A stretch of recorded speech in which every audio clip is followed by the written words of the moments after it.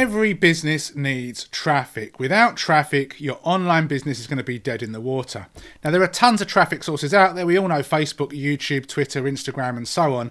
But there are also lots of lesser known traffic sources that if you choose the right one for your niche, you can potentially get some really good results from. And the one I'm going to share with you today gets a couple of million hits every single month. Now, before we get into what that traffic source is, if you like building your business and are tired of the BS and the hype, you're in the right place. I upload a couple of videos every single week, so please consider liking this video, subscribing to the channel, and hitting that bell notification. So we're going to head on over to SimilarWeb to have a look at what this traffic source is. And you can see it's called Blog Lovin. Lovin is spelled L-O-V-I-N. It's bloglovin.com. Now you don't need an actual real WordPress style blog to take advantage of this traffic source, but you need to make sure that you are in a niche that is quite visual. So when I say visual, a niche that would do well on Pinterest, for example, so things like cooking, beauty, fashion, that kind of stuff. If you're in something that doesn't, you know, lend itself to a lot of visual stuff, then it may not be the right traffic source for you.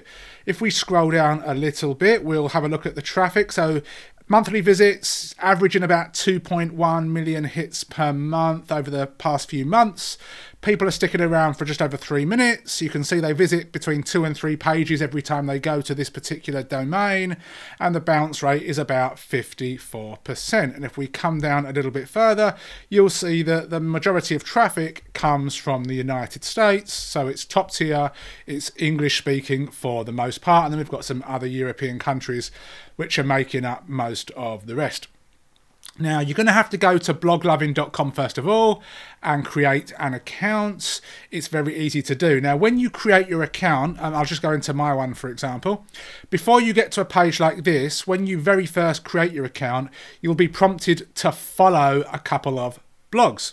So I just clicked on the first few. I think I did a search. I did a search for food and then I just followed the first two that came up. You just need to do that before you can move on to the next step. You don't really have to be interested in that topic, but I just chose food because, well, I like eating. So anyway, because I chose food, then when I come to bloglovin.com when I'm logged in, I see pages like this which are related to food. You might see something different if you choose fashion or lifestyle. And you can see from the menu at the top the kind of niches that are popular. We've got DIY and crafts, fitness, beauty, lifestyle, etc. So as you can tell, very visual things. If you're an affiliate marketer, if you're in a make money online niche, for example, doesn't mean that you can't use it, but it's probably not going to be worth your time and there will be better traffic sources out there. But if you're already on, for example, places like Pinterest and We Heart It, and it's a very visual thing, then definitely worth checking it out. So what I would recommend that you do is you come to one of these areas up here and you just click on it. I'll stick with food and drink, but check the kind of content that is currently being shown. Now, it will change from day to day, but it'll give you a kind of idea of the stuff that Blog Lovin pushes on the homepage of their main sections. So you can see here just these nice little recipes with images. Um, not quite sure why that one's there. Oh, there you go. It's got cookbook. But anyway, you can see the kind of stuff and people can either love or save this post. A love is like a like on Facebook or YouTube. Um, and then obviously people save it for future reference. So of course, if you've got good quality content and then within that content, you can potentially send people elsewhere or recommend your main site, that's obviously a good thing to do. Um, up here, you've got your profile pic. Obviously, I've not got one yet, but you can click on this and you can click on profile. And from here, you can upload a profile picture. That can be you or it can be your logo. It's entirely up to you. So let me just click on the back button there. I want to go back and you can change your name as well, your username. So if you logged in with your real name and then you want to change it, so it'd be bloglovin.com forward slash whatever you want to do, so long as it's not taken, of course. So you can see here, a new post. And this is how you create a post. It's super simple. So you just click on that and you want to give your post a title. So I might, it could call it anything. So for example, let's say how to create a private label rights product. Dun, dun, dun. And then here is all of your text so you can say things. So for example, how to do something. Here um, you can click on this and you can upload images from your computer. So that's really, really important for stuff like this because it's very visual. Um, if you highlight a piece of text, for example, there's not a whole lot you can do to make it look nice, but if you highlight something, let's just do that and let go of the mouse. You can either bolden it, you can italicize it, and most importantly, you can add a link. Uh, so you can actually have a link back to your main website, your main blog, your e-commerce store, a landing page. It's entirely up to you. And then when you're happy with how, how this looks, uh, you can come down and just double check everything. And then you click on post and you can click on this, which will automatically share it to these places. So long as within your settings, you have connected your Facebook and Twitter profiles.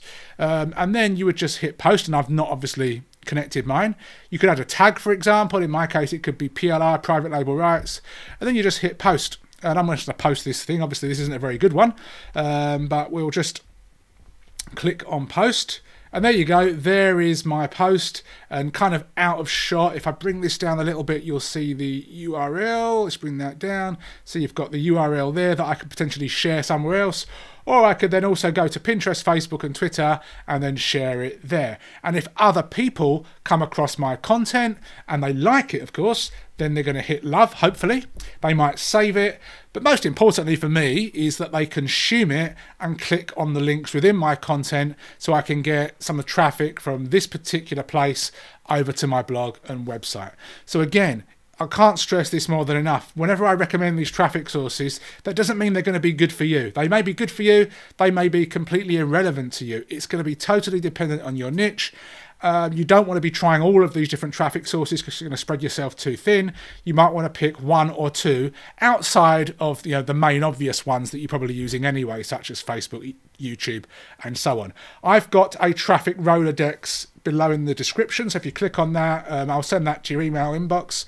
I'm always adding to stuff as well. So whenever I come across a new traffic source, and it's not in my actual Rolodex, I'll either add it or I'll send it out via email so that you can check it out for yourself. But other than that, Blog Lovin is definitely worth checking out if you are in a visual niche. Other than that, thank you for your time, much appreciated. Don't forget to like the video, subscribe to the channel, hit the bell notification, and I'll see you soon. Take care. Thank you for watching. If you've got any questions or you need more clarification, go and watch the video once more. Over on the right hand side, we have some more trainings and reviews, so go and watch those as well.